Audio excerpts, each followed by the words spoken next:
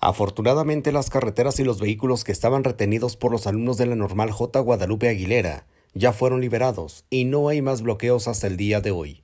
Hubo un diálogo fuerte con ellos y llegamos a buenos términos, así lo comentó Oscar Galván Villarreal, secretario de Seguridad en el estado de Durango. Eh, tengo entendido que ya terminó la mesa de negociación, ya está liberada eh, todos los vehículos que tenían, las carreteras, las casetas, ya no tenemos presencia de estudiantes. Este, bueno, al momento no hay ningún detenido. Bueno, yo creo que definitivamente las mesas de diálogo deben ser de otra forma.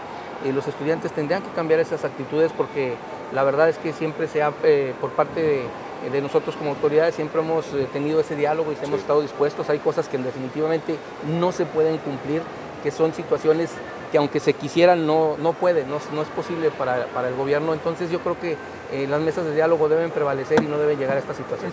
Con imágenes y edición de Luis Flores, le reporta para Notigram TV. Víctor Salas.